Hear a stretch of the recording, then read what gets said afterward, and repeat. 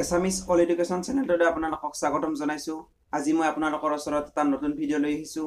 এই ভিডিঅ'টোত মই আলোচনা কৰিম মোবাইল ফোন এটাৰ ৰেম আৰু ৰম কি বা ই কেনেদৰে কাম কৰে।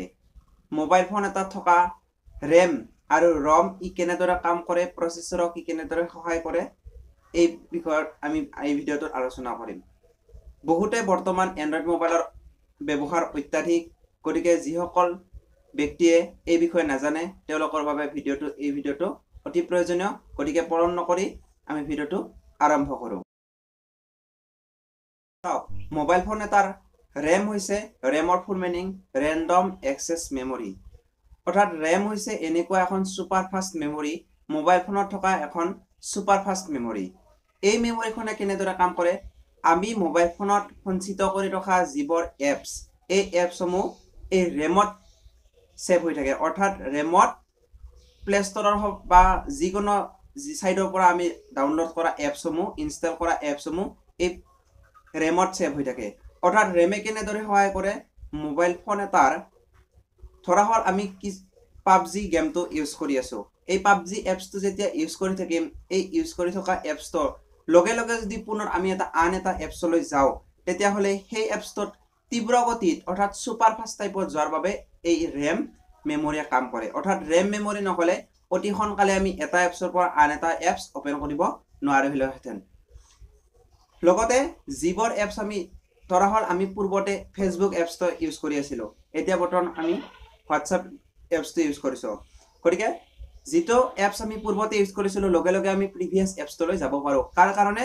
অনলি ৰেমৰ কাৰণে। ৰেণ্ডম এক্সেছ মেমৰি অৰ্থাৎ মোবাইল ফোনত থকা মেমৰিখনৰ উপৰিও আন এখন মেমৰি থাকে সেইখনে হৈছে ৰেম আৰু এই প্ৰচেছৰক অতি সোনকালে যাতে যিবোৰ এপছ এই এপছসমূহ যাতে তীব্ৰ গতিত অ'পেন হয় তাৰ বাবে ই সহায় কৰে। অৰ্থাৎ যিকোনো এপছ যেতিয়া আমি ইনষ্টল কৰোঁ সেই এপছসমূহ ৰেমত সঞ্চিত হৈ থাকে। অৰ্থাৎ ষ্ট'ৰ হৈ থাকে ৰেম গতিকে আপোনালোকক জনাই দিছোঁ যিবোৰ এণ্ড্ৰইড মোবাইল আছে এই এণ্ড্ৰইড মোবাইলসমূহৰ অতি কমেও ফ'ৰ জি বি ৰেম থকা উচিত। কিয়নো ফ'ৰ জি বি ৰেম হৈছে অতি প্ৰয়োজনীয় ৰেম কিয়? ফ'ৰ জি বি ৰেমটো হৈছে এটা সঞ্চিত ঠিক সঞ্চিত মোবাইলত যাতে ইউজ কৰিব পাৰোঁ আমি। সেইবাবে ফ'ৰ জি বি ৰেমটো নিতান্ত আৱশ্যক। টু জি বি ৰেমতো মোবাইল চলে নচলা নহয় কিন্তু অলপ কিছু পৰিমাণে হ'লেও অলপ শ্ল' হ'ব পাৰে পিছত গতিকে বৰ্তমান সময়ত মোবাইল ফোনৰ এণ্ড্ৰইড মোবাইল ফোনৰ অত্যাধিক ব্যৱহাৰ দেখিবলৈ পোৱা যায়। গতিকে মোবাইল ফোনত থকা আন এটা বস্তু হৈছে ৰম ৰম ৰম হৈছে মোবাইল ফোনত থকা এখন পাৰ্মানেণ্ট মেমৰি অৰ্থাৎ যাক আমি কওঁ ইণ্টাৰনেল মেমৰি বুলিও ক'ব পাৰোঁ ইণ্টাৰনেল ষ্ট'ৰেজ বুলিও ক'ব পাৰোঁ। এই ইণ্টাৰনেল ষ্ট'ৰেজটোত আমি বিভিন্ন ধৰণৰ মিউজিক ভিডিঅ'ছ যিকোনো ফটোজ এইবোৰ আমি সঞ্চিত কৰি ৰাখিব পাৰোঁ। ৰেম আৰু ৰম এই দুটা বস্তু। ৰেম আৰু ৰম এই দুটা বস্তু মোবাইল ফোনত থাকে। কিছুমান মোবাইল বৰ্তমানত দেখুওৱা হৈছে। কিছুমান মোবাইলত এক্সটাৰ্নেল মেমৰি বৰ্তমান ব্যৱহাৰ কৰিব নোৱাৰি। অনলি ইণ্টাৰনেল মেমৰি থাকে। গতিকে আপোনালোকক মই এইটো ভিডিঅ'ৰ জৰিয়তে জনাই দিলোঁ মোবাইল ফোন এটাৰ ৰেম আৰু ৰম ই কেনেদৰে কাম কৰে।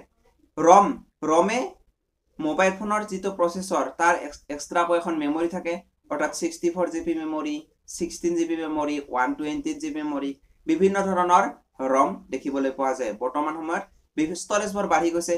কিয়নো ফটোৰ যিটো আমাৰ চাইজ সেই চাইজসমূহ বৰ্তমান সময়ত বাঢ়ি গৈছে। সেইবাবে ইয়াৰ মেমৰিৰ সংখ্যাও বৃদ্ধি পাইছে। মা মেমৰিৰ যিটো ষ্ট'ৰেজ সেই ষ্ট'ৰেজটো বৃদ্ধি হোৱা দেখিবলৈ পোৱা গৈছে। ROM read only memory ROM এই ৰমে বিভিন্ন ক্ষেত্ৰত ব্যৱহাৰ কৰা হয় কম্পিউটাৰৰ ক্ষেত্ৰত ব্যৱহাৰ কৰা হয় বিভিন্ন হাৰ্ডৱেৰৰ কামৰ বাবে ৰম ব্যৱহাৰ কৰা হয় বা মেমৰি ব্যৱহাৰ কৰা হয়।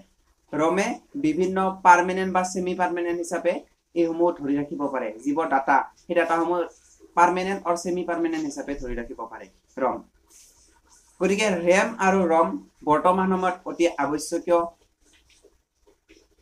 অতি আৱশ্যকীয় ইলেক্ট্ৰনিক ডিভাইচ বুলি ক'ব লাগিব। কিয়নো বৰ্তমান সময়ত যিবোৰ আমাৰ চাইণ্টিফিক ইলেক্ট্ৰনিক ডিভাইচ আছে। সেই ডিভাইচসমূহত প্ৰত্যেক ক্ষেত্ৰতে ৰেম আৰু ৰমটো ব্যৱহাৰ হৈ আহিছে। মোবাইল ফোনত বেছিকৈ ব্যৱহাৰ হয়। ৰমটো কম্পিউটাৰৰ ক্ষেত্ৰতো ব্যৱহাৰ কৰা হয়। গতিকে আজিলৈ ভিডিঅ'টো ইমানেই। এনেধৰণৰ টেকনিকেল জনিত বা ছায়েন্স জনিত ভিডিঅ'সমূহ পাই থাকিবৰ বাবে আপোনালোকে ভিজিট কৰক এছামিজ অল এডুকেশ্যন চেনেলটো নতুনকৈ খোলা হৈছে। গতিকে কিছু কিছু পৰিমাণে ভুল ভ্ৰান্তি হোৱাটো স্বাভাৱিক। গতিকে আপোনালোকে এই ভুলসমূহ শুধৰণি কৰি দিব কমেণ্টত জনাই দিব কেনে কি ভুল হৈছে বা যদি মোৰ কোৱাতে ভুল হৈছে কিয়নো কিছুমান ক্ষেত্ৰত তুমি বা আপুনি হৈ যাব পাৰে। গতিকে এই ক্ষেত্ৰত মই ক্ষমা বিচাৰিছোঁ। আজিলৈ ইমানে। ধন্যবাদ।